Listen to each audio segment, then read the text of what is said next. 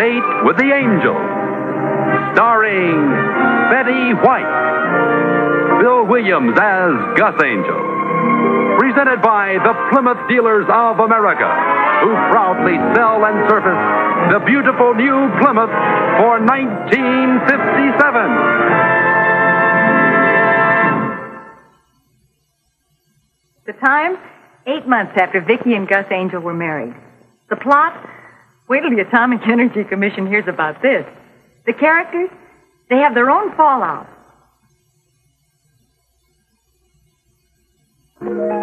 Gus, lemonade.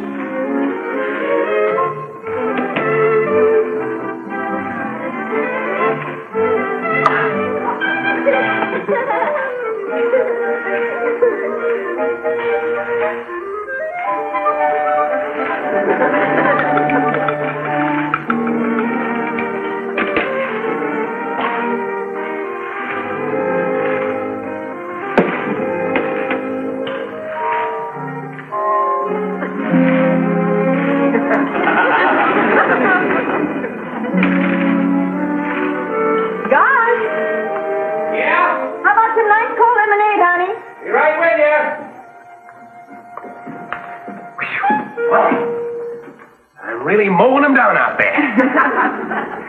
Thank you. Oh, thank you. Hope I didn't get it too sweet. Uh, boy, this is really going to hit the spot. Mine's delicious. You little demon, you did that on purpose. Lemons aren't the only thing that's going to be squeezed around here. Gus, Put Gus, your Gus, neck right in here, honey. Gus, get your- Come on. Oh, come on. Now, you're gonna Come on, spill it. drink I'm it. gonna tickle Oh, no, no, no. Oh, pardon me. I'm sorry. Come on in, Bert. Come on in. We were just having a little fun. And I've got the bruises to prove it. Hey, kid, come on, sneak down to my backyard. Me and Kathy got something to show you.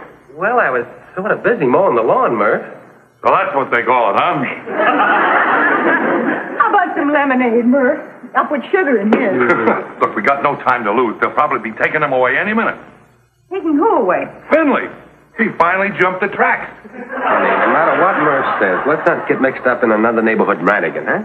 Don't worry about me. Just don't you get carried uh, away. Come on, you may never see anything like this again. You should see how he's dressed. Okay, Murph. uh, But remember, we're not going to sign anything, and we're not going to join anything, and we're not going to get mixed up in anything. What's he doing? I can't describe it. You just have to see for yourself. Come on, Fort Too late. Let's go. I like the way you held out, honey. What happened, Lola? Did he quit? Oh, no, he'll be back. Last time I nearly blew a gasket. I think we ought to be doing this. I feel like Mata Hari. Me too, honey. Let's skip it, huh? Oh, stick around. This you can't miss. Stop.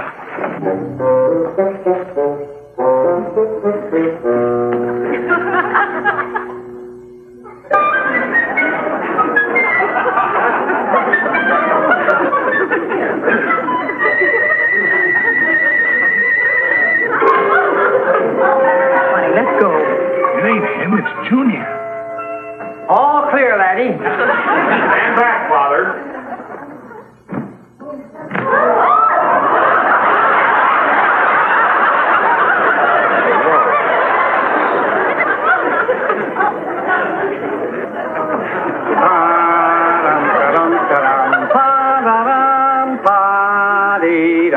You can't follow the music, stay out of it. I don't hear any music. We're assuming it, Father. You assume what you want. I assume it's Swanee River. Well, it isn't. It's Charnovsky's third concerto. In that case, you are out of step. spider.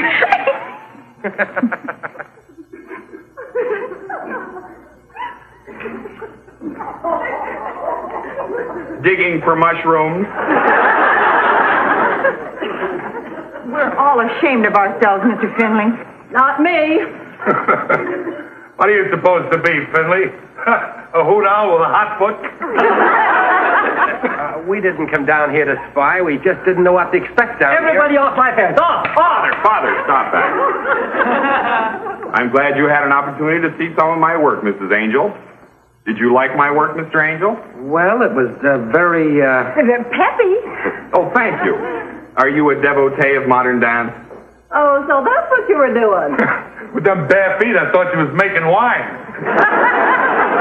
Uh, let's get back to the house, Vicki. We've got some lemonade down there that's getting cold. Uh, and, uh, Mr. Angel, I'm sure that uh, you and Mrs. Angel would be eager to participate in any uh, civic project that was worthy. Of course. Vicki? I'm just listening. Well, perhaps you've heard that the Community Boys Club needs new equipment for its workshop. Oh, we can afford a couple of dollars for something like that. No, no, all we want is a few hours of your time. You see, my school is helping the fund by giving a public entertainment. Well, you can count on us for a couple of tickets, Mr. Finley. We won't guarantee we'll be there, No, but... no, uh, no, you misunderstand. You see, the psychology department is presenting a modern dance interpretation, and I need a group to work with me. Where are you going to get kangaroos this time of year? Oh, what about your students, Mr. Finley? Oh, they're too emotionally immature to comprehend the full emotional impact of uh, modern dance. No, I'm going to select a few intelligent neighbors to assist me. Now, I should like to call rehearsal for tomorrow afternoon. Would uh, 1.30 be all right with you, Mrs. Angel? We're busy at 1.30. Come on, I'm Gus. sorry, Mr. Finley. Bye-bye. Let's go. Get out of here. Let's get out of here.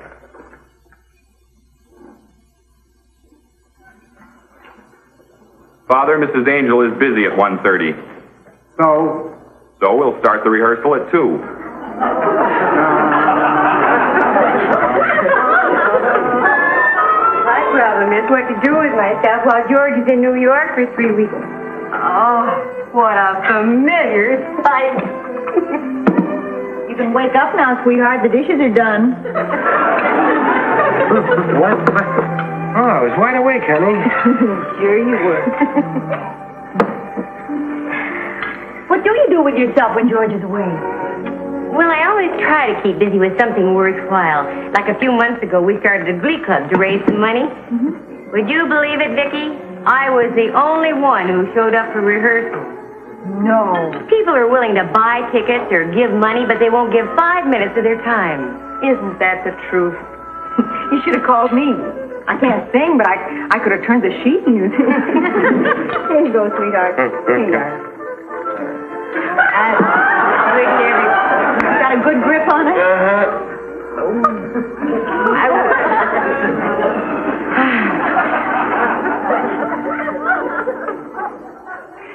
I wish everybody had your community spirit, Vicki. You should hear the obvious fibs people tell to try and get out of giving up a few hours of their time. Isn't it disgraceful, Gus? What? How about Wilma? Tried to get some people together for a worthy cause and nobody showed up. Should have called us, Wilma. I will next time. Don't forget. Oh, I didn't get a chance to tell you about these weird neighbors of ours down the block. No. We're not expecting anybody, are we? Not that I know of. Well, Mr. Finley, Good evening, Mrs. Angel. did come in. Well, this is a surprise. In what way? This is my dearest friend. I've met Mr. Angel. Oh, Mrs. Clemson, Mr. Finley. How do you do? How do you do, Mr. Finley? I'm not a demonstrative man, Mrs. Angel, so I don't know quite how to say this except to say thank you You're welcome. For what? for agreeing to be a part of my show. Why, Vicki, you didn't tell me anything about that. I didn't know about it. Uh, I'm afraid you're taking something for granted, Mr. Finley. Oh, not at all. If you remember, I changed the rehearsal from 1.30 to 2.30 at your insistence. What kind of a show is it? Well, my school is uh, giving a show to raise money for the Community Boys Club. Mr. and Mrs. Angel very kindly volunteered their services. Most people give money, but not their time. Right. We were just talking about that very thing. The psychology department is responsible for the uh, for a portion of the program, the scientific portion. Oh, what's it going to be? Well, it's a psychological interpretation of interpretive dance. Psychologically. Do you spell angel the usual way? Yes, eh? Uh, why? Well, uh, Dean Caldwell wants to know for the program. We don't want our names on the program. I admire you for that. Personal glory should not be considered when the cause is a worthy one. That's just like you two. Well, Mrs. Clemson is going to be our house guest for the weekend. Yeah, we so- can't leave her here all alone. Is there room in the show for me? We need everyone we can get. You see, Mrs. Angel, how your good example has already brought us another volunteer. You can't imagine what it is to plead with people and get nothing but money. We won't let you down, Mr. Finley. We'll be there. Thank you. Good night, all.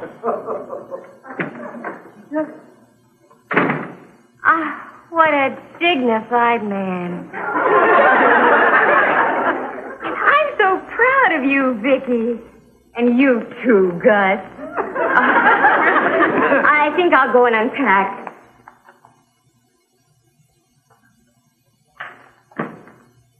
She's proud of us. Well, I'm not proud of us. Oh, honey, don't worry. We got all night to think of some excuse to get out of it. Don't worry. This is what's got.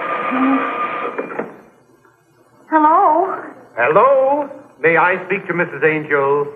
This is Mrs. Angel. Mrs. Angel, this is Dean Caldwell. It's the dean of Mr. Finley's school. Uh, how do you do? Tell him the whole thing was a mistake.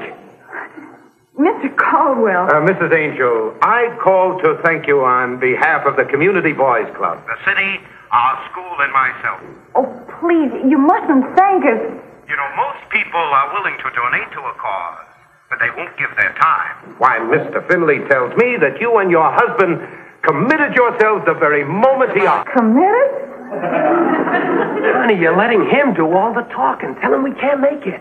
Mr. Caldwell. You know, human nature is a very funny thing, Mrs. Angel. Why, would you believe that some people, after they allow our various directors to count on them, actually try to back out? No. That's the way to talk to him. I I realize, Mrs. Angel, this doesn't apply in your case. Oh, incidentally, I hope that Angel is spelled in the usual way. we don't want to be on the program. Thank goodness. Oh, well, this isn't for the program. you see, I've taken the liberty of releasing your name to the newspapers. Newspapers. Well, it's the least we could do. We're still looking for people, you know, and a good example set by decent, unselfish citizens like you and your husband. Might inspire others to join us. Well, we have a friend who's decided to be in it too. That's splendid. And once again, I wish to thank you on behalf of a very, very grateful community. Goodbye. You're welcome. I mean, goodbye. You didn't talk him out of it, did you? Gus, we have everything but a contract.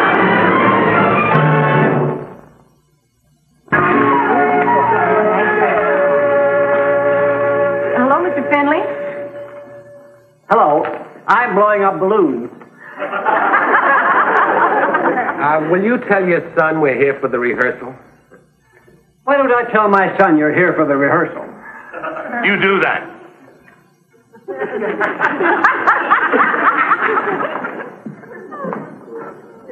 You see what I mean, Wilma? These Finleys are too weird to do anything sensible.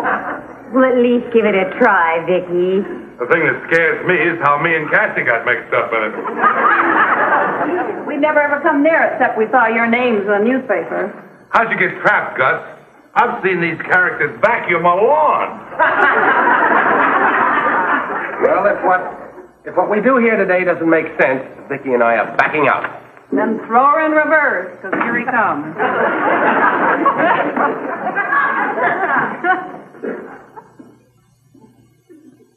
Thank you for being prompt. Now we have a great deal to do, and I'll tell you what's on my mind. I know what's on your mind, and it isn't commercial. I'll be the judge of that, and please take off that ridiculous hat. I will if you'll take off those stupid pants.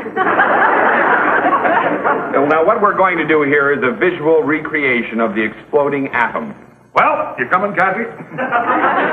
Let us know how it turns out. Yeah. Well, at least give him a chance. These things never sound good when you talk about them. Thank you, Mrs. Clemson. This idea was suggested to me by our science department. However, I will not beg. What do we do, Mr. Finley? From what I understand, your husband is in the insurance business and you're a housewife. That's not what she meant, Father. Now, I'll start with Mr. Angel while Father puts on the balloons. Uh, Mr. Finley, before I get involved, I'd like to know what the balloons are for. Well, I'm sure you understand the structure of the atom. Well, roughly, yeah. Well, Father represents the nucleus, and the balloons around his waist are the electrons, that's all. Well, that makes good sense, Gus. That is the way the atom is constructed. Oh, no. Who pumped up your girdle? What does Gus do, Mr. Finley? Father is radioactive, and when I, as the scientist, split the atom, the isotopes reach Mr. Angel, which in turn sets off a chain reaction, which in turn sets off an interpretive explosion. I didn't understand one word you said, Mr. Finley. and I don't dance, so I don't know what I'm doing here. Well, I will not beg. I will. Please, Mr. Angel. Honey, we are sort of committed. If anybody sees us, we will be. What do I do, Mr. Finley? You're an insurance salesman. Oh, Father! Stand over here, Mr. Angel. Now, you two hook left arms and circle. Mrs. Murphy, you step on that lever. You see? All right. Now tell us what we just did. You just reacted to the oscillating screech. Now, Mr. Murphy, I know you sing because I hear you in the shower every six months. Why? Murph, Murph, now, uh, come. Uh, sing something, anything at all. Oh, sing that song about uh, Here and There the Figs. What? Here and There the Figs. Oh! Figaro here, Figaro there, Figaro here, Figaro there. Largo, factotum da delicita, largo. La la la la la la la quite a while. That's beautiful. Oh, I love that opera. Do you know any more? Yeah. Like Red River Valley? Later, Father. Now, when Murphy starts to sing, you ladies quiver like this. and then go around in a circle as I showed you. And go. Figaro here, Figaro there, Figaro here, Figaro there. La la la la la la.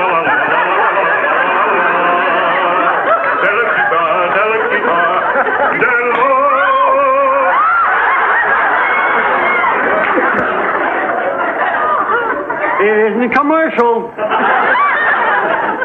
What's the song all right? Yes, now, just pick a note out of all that mess and hold it. You are the oscillating screech. You know, that's the first decent thing he said to me since we moved here.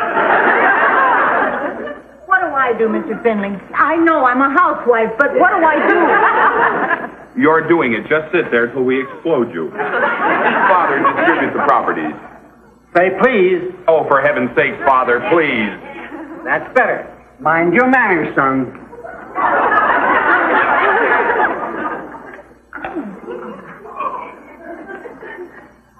This goes in the teeth. And you hold this. What for? So it won't fall. Now, Mr. Murphy, assume an L shape. Oh, no, you don't. You must assume an L shape. That's the shape of the oscillating screech.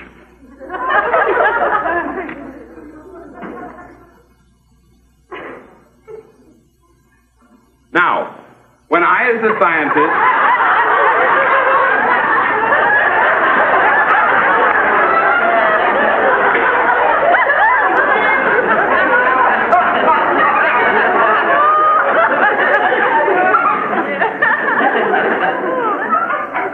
Now, when I, as the scientist, explode the balloon, Father, you're not paying attention. When I, as the scientist, explode the balloon, uh, the atom, the chain reaction will begin. Five, four, three, two. Hey, wait a minute. You didn't tell us what we have to do. Your reactions will be instinctive. You'll know what to do.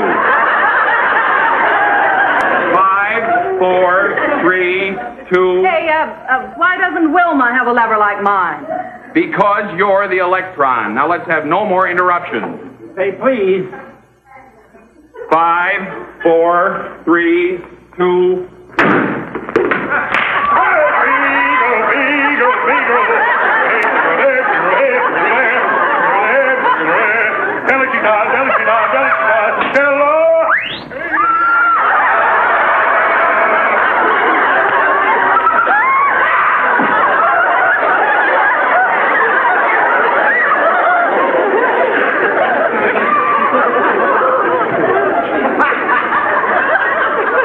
Been swell. Yep. Maintain positions, please. Vicki, these things never look good the first time. Hot Gus. One more. Now let's start the thing again in reverse. With the explosion at this end. Yeah. You mean backwards? All right, Mrs. Angel, start.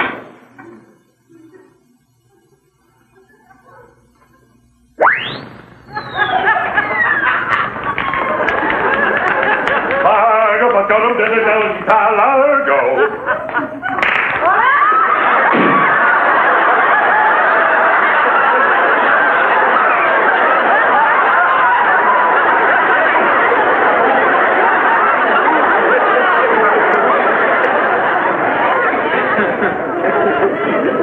What's the idea, Father? I believe the idea was to show a chain reaction with the heliotrope. I don't mean that. Can we go now, Mr. Finley? No, now please maintain positions. Dean Caldwell will be here any minute, and I want to think. Better think up something else. I don't want to go through that routine again. You got another cigarette, Gus? Yeah, catch Murph. Right. Oh, I'm sorry. That's all right.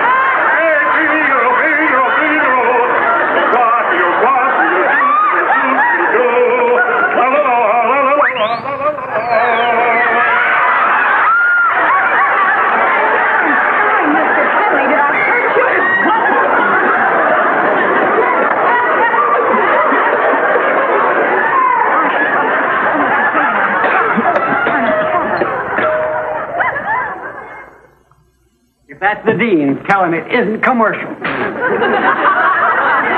got any better ideas? I sure have.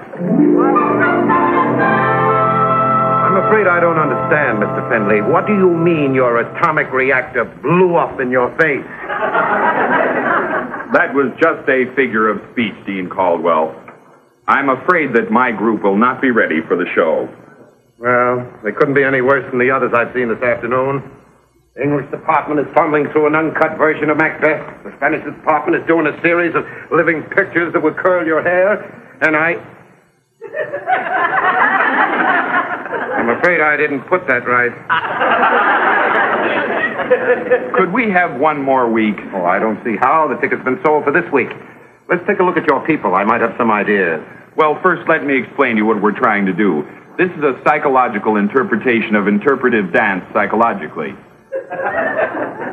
Well, at least the auditorium is air conditioned.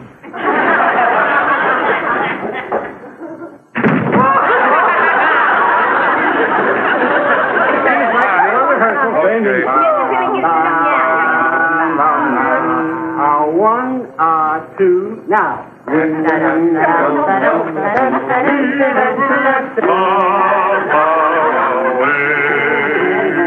Now, why can't the other departments come up with something like this? Like that? You have me worried with all that psychological malarkey.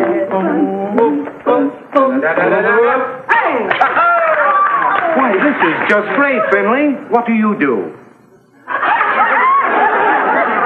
I'm the assistant director. Get uh, down at the end of the line, Levy. All right. All together now. Uh, one, uh, two, now.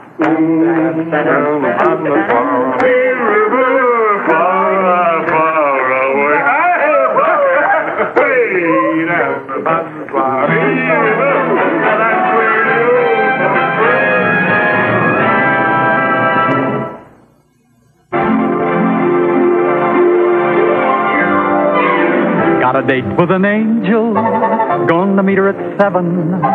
Got a date with an angel, and I'm on my way to heaven.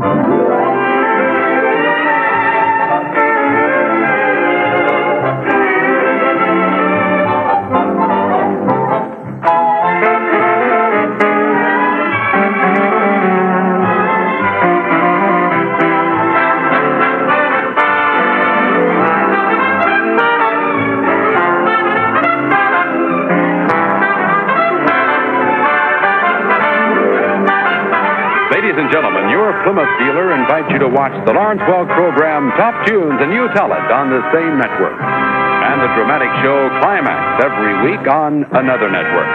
Tom Kennedy speaking. Good night, everybody.